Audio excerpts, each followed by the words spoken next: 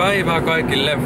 Tämmönen katsoja kuin Kalevi toivo tuota kreatiinista käsittelevää videota, tai ei varsinaisesti nyt videota toivonut, että hän laittoi sähköpostiviestiä, että mitä, mitä miltä minä on kreatiinista ja vastasinkin hänelle jo siihen, mutta ajattelin, että voisin nyt vähän puhua tässä videollakin siitä vielä. On menossa tuota nyt hakemaan postipakettia, jossa on lisäravinteita. Ei ole kreatiinia nyt siinä, mutta fitness-tukulta niin tilasin proteiini, jauhetta ja patukoita ja semmosia juttuja, niin hain sen paketin nyt tässä. Se tulee tuonne Lidliin tuota, semmoiseen nouto pisteeseen. Nykyään ne tulee näköjään tuommoisiin laatikoihin. Ja öö, niin niin, kreatiini on semmonen aine, mikä näin yksinkertaisesti sanottuna niin toimii kehossa energiana. Ja sitä on, sitä saahan ruuasta, muun muassa lihasta ja kalasta etenkin. Niin etenkin lihasta ja kalasta tulee sitä, ja keho pystyy sitä myös jostakin aminohapoista muodostamaan itse. Ja kreatiini on niinku semmonen, tai se ihan ensisijainen energianlähe lihaksilla on semmonen ATP, adenosiinitrifosfaatti. Ja se on semmonen niinku mikä, semmonen, niinku mikä loppuu tosi äkkiä. Ja tuota, sitten sitä muodo, elimistö muodostaa sitä lisää, muun muassa kreatiinista. Ja sitten öö, glykogeenista, mitä on lihaksissa, Oliko se glykogeeni vai gluko? Joo, glykogeeni. Ja tuota, kysymys on nyt se, että eli no kreatiini auttaa tosiaan siinä, että sitä vissiin sitä siitä voidaan niin nopeammin muodostaa sitä ATPtä kuin sitä glykogeenista. Ja sitten, no niin, että kysymys on se, että jos ottaa lisää ravinteena kreatiinia, niin voidaanko kasvattaa sitä elimistön kreatiinivarastoa, että sitten on enemmän semmoista nopeasti käytettävissä olevaa energiaa. Ja ilmeisesti voi. Eli tästä on tuota aika paljon tutkimusnäyttöä on kreatiinista. Sitä on tutkittu tosi paljon. Ja etenkin tämmöisessä lihaskasvuun ja voimaan tähtävässä treenissä, niin siitä on hyötyä ei niinkään paljon sitten tämmöisessä kestävyysurheilussa, niin kuin pitkän matkan lenkkeily tai pyöräily tai tämmönen, niin niinkään semmosessa ei ole niin hyödyllistä, mutta etenkin just semmoisessa kovatehoisessa punttitreenissä, mikä on niinku, missä ne sarjat on sille aika lyhyt kestosia, niin semmosessa siitä on hyötyä. Ja on itekin kreatiinia käyttänyt ja on huomannut, että on vaikutusta. Ja etenkin siis jos treenataan kovasti, että jos sinä tiedät, että sinä treenat silleen 80 prosentin teholla, että ei mene sarjat feilure asti ja näin, niin ei sitä sit, silloin varmasti on niin selkeätä hyötyä. Että sitten tosiaan kun on semmoista kovaa tehosta treeniä, niin sitten sen huomaa, että saa tehtyä ehkä pari toistoa enemmän kuin ilman sitä tietyllä painolla. Et ei se ole tietenkään dramaattinen, mutta kyllähän se nyt jokainen tietää, kuka on pitkään salilla treenannut, että se, että saa vähänkin se pari toistokin enemmän jollain tietyllä painolla, niin onhan se niin kuin jo selkeä niin kuin vaikutus. Et aika harva lisäravinne niin kuin vaikuttaa selkeästi. Et, että esimerkiksi monet vitamiinit ja tämmöistä on semmosia, että niitä, ellei nyt ole selkeä puutos, niin ei varmasti huomaa mitään selkeää vaikutusta. Että, että on, niin kuin, paljon on kaikenlaisia lisäravinteita, mistä ei huomaa mitään. Mutta kreatiinin kyllä huomaa sen vaikutuksen, että siitä on hyötyä. Ja sitten ja sen lisäksi tulee voimaa enemmän, niin lihaksetkin kasvaa paremmin, että se auttaa siinä, että tuota, öö, Minä joskus, joskus aikojen alussa lueskelin aika paljon kreatiiniin liittyviä tutkimuksia, en nyt muista niitä ulkoa näköjään, mutta niin kuin on selkeästi tutkimusnäyttöä siitä, että lihaskasvu on parempi kreatiinilla, että on enemmän voimaa ja lihakset kasvaa paremmin. Näin. Ja tuota, ainut mikä siinä voi olla sitten semmoinen ongelma, niin on se, että että se minua, minua kiinnostaisi tietää se, että mitenkä paljon elimistössä on kreatiinia niin kuin luonnostaan grammamääräisesti sitä varastoa ja mihinkä grammamäärään asti sitä voidaan kasvattaa.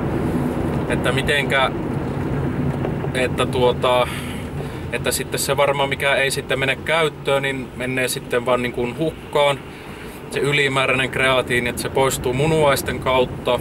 Munuaiset joutuu sen käsittelemään se voi ehkä munuaisia rasittaa semmoset, jos tosi isoja annostuksia käyttää. Ja jos on munuaisten vajaa toimintaa vaikka ja tämmöstä, niin silloin kannattaa ehkä olla varovainen, mutta jos on terveet munuaiset ja käyttää nimenomaan kuuriluontoisesti, et ei jatkuvasti, niin pitäisi olla ihan turvallinen kuitenkin käyttää. Vaikka nyt ei olisi gramman tarkkuudella laskettu annos. Mutta se, miten sitä yleensä suositellaan käytettäväksi, niin yleensä on 5 grammaa, eli noin teelusikka on se 5-10 grammaa sillä välillä suositellaan käytettäväksi ja nimenomaan kuuriluontoisesti, eli käytät vaikka kuukauden ajan, sitten pidät vaikka pari viikkoa taukoa ja sitten taas sitä vähän niin kuin tankataan ja sitten pidetään vähän taukoa. Sillä tavalla yleensä suositellaan sitä käytettäväksi. Ja jos pysyy siinä, että tee lusikka päivässä, niin se nyt ei varmasti ole mikään överi iso annostus. Että se on, niin kuin tosi monet ihmiset käyttää kreatiinia ja siitä on paljon tutkimuksia, niin kyllä se kuitenkin on semmoinen hyvin turvallinen käyttää, eikä sitä lasketa doping-aineeksikaan. Ja tuota, tuota, tuota,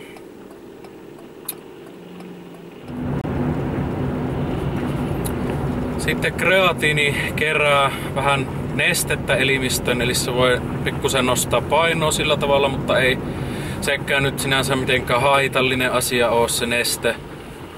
Se haihtuu sitten kun sitä ei käytä ja, ja tuota, tälle.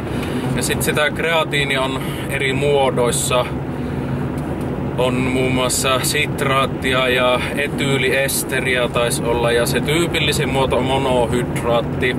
Se on kaikista halvin. Se on kreatiinissa kanssa hyvä puoli, että se on tosi halpa.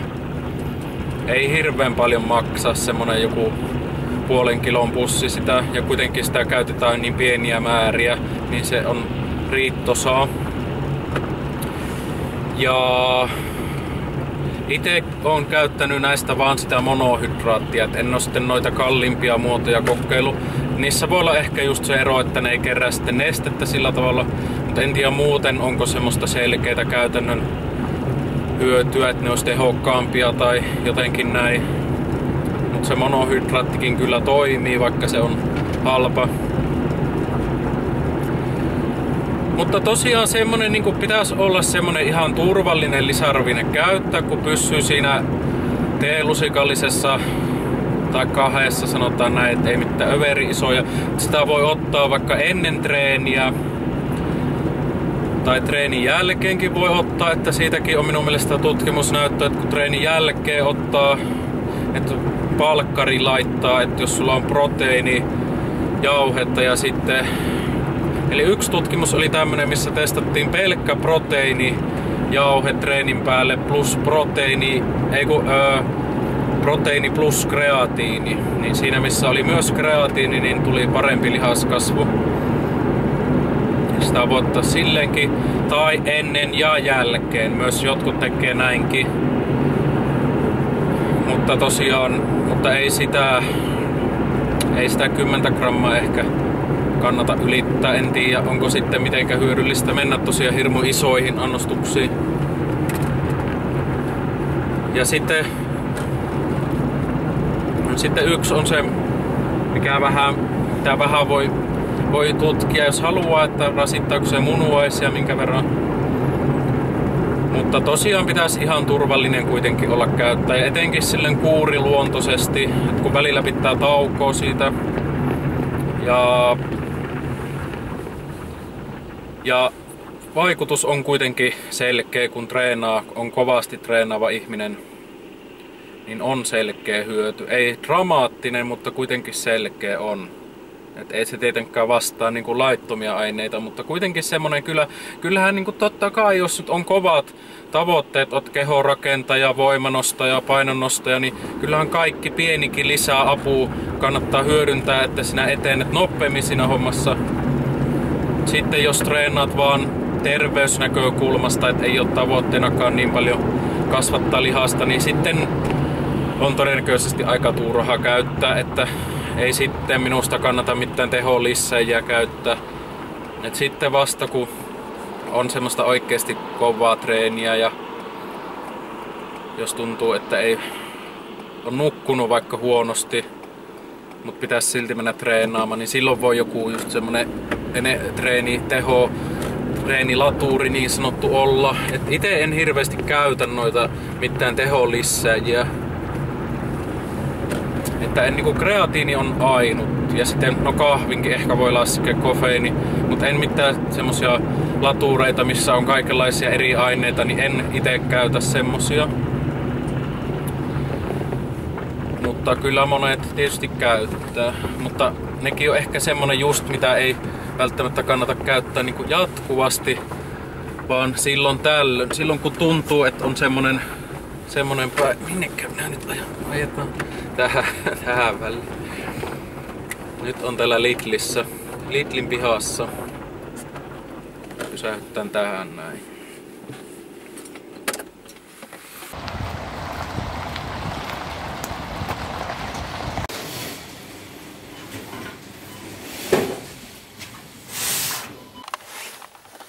No niin, tuommoinen paketti sieltä löytyi. Voi ottaa vähän unboxausta kotona vielä sitten. Nyt käyn vielä pikkusen ostamassa ruokia tuolta kaupasta. Viherahohan käy aina täällä Lidlissä. Jossain videossa tuli vartija taisi tulla sanomaan, että ei saa kuvata täällä. No niin, muutama pikku ostos. Vähän kaurahiutaletta ja kinkkua ja tuommoista pientä. No niin, nyt on jännittävä unboxausvideo.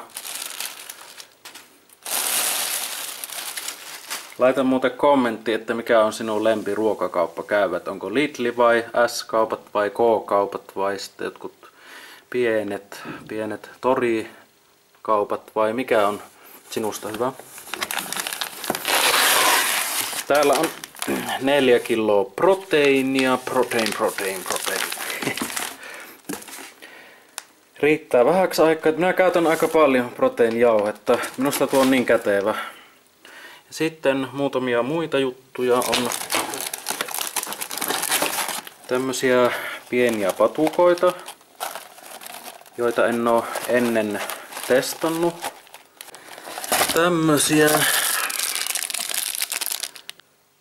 proteiinia 12,4 grammaa per patukka, mikä on hyvä määrä tämmöiseksi pieneksi patukaksi. Ja sitten tuota sokeria on kuitenkin vain 1,3, rasvaa on 5 grammaa.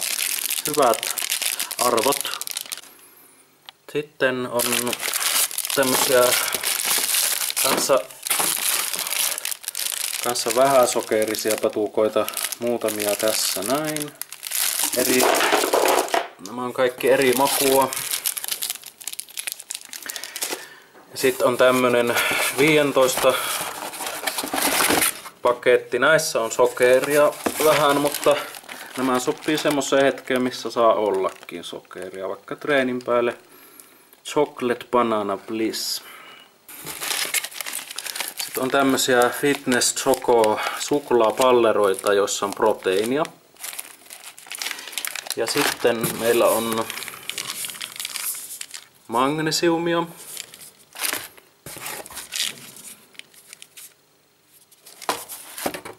Aha, niitä tulikin kaksi. Sitten omega 3.